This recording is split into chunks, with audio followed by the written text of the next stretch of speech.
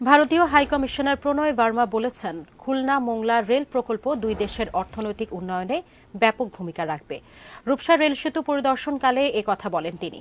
দুই দিনের সফরে ভারতীয় হাই কমিশনার খুলনায় অবস্থান করছেন। সফরের অংশ হিসেবে শুক্রবার বিকেলে তিনি রূপসা রেল সেতু পরিদর্শন করেন। মূল প্রকল্পের অগ্রগতি দেখে সন্তোষ প্রকাশ করেন তিনি। এ সময় তিনি বলেন, রেল সেতুটি যোগাযোগ ব্যবস্থা ও অর্থনীতিতে গুরুত্বপূর্ণ ভূমিকা রাখবে।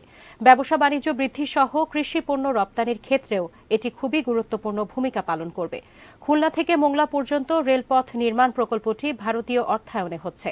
এ পর্যন্ত প্রকল্পটির সাতানব্বই শতাংশ কাজ শেষ হয়েছে।